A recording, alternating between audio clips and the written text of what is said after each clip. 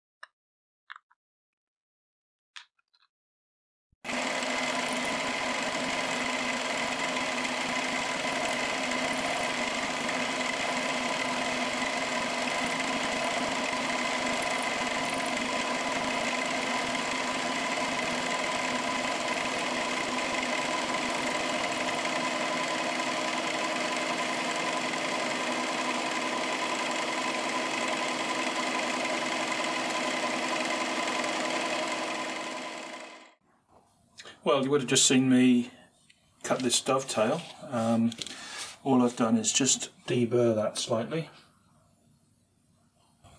And uh, just give it the tiniest little touch on the polishing wheel just to take any razor edges off.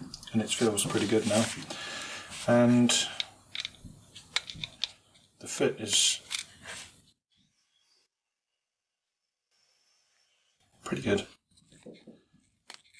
this must be tapered because it gets tighter towards that end what I'll do is I'll keep this um, I'll keep the dovetail cutter of course and when the new indicator comes if I have to open this up by a little tiny amount then I can. I was um, walking that width in a hundredth of a millimetre at a time at the end um, just to try and get a really snug fit on that on that dovetail and yeah I couldn't be happier. And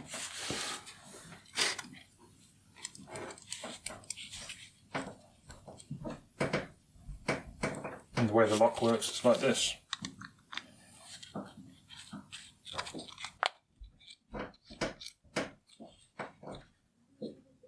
That's it.